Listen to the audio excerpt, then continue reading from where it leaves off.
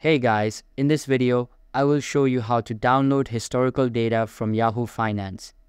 Make sure to watch until the very end to make sure you don't miss out on any of the important steps.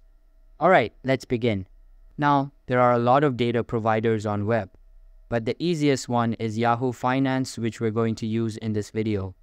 Now, it is not necessary to sign in or sign up to search for stock prices, and we'll just go to the search bar.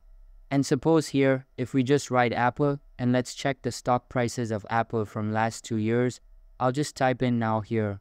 As you guys can see on the left side, there are tons of options provided to us, and we will go here and select statistics. Now this tab would give you a quick overview of the most important company ratios. Now here there is tons of information provided to you such as price to earnings etc. and a lot of other information. Now to check historical stock prices, we will go here and select historical data. Now once we are here, we will select time period.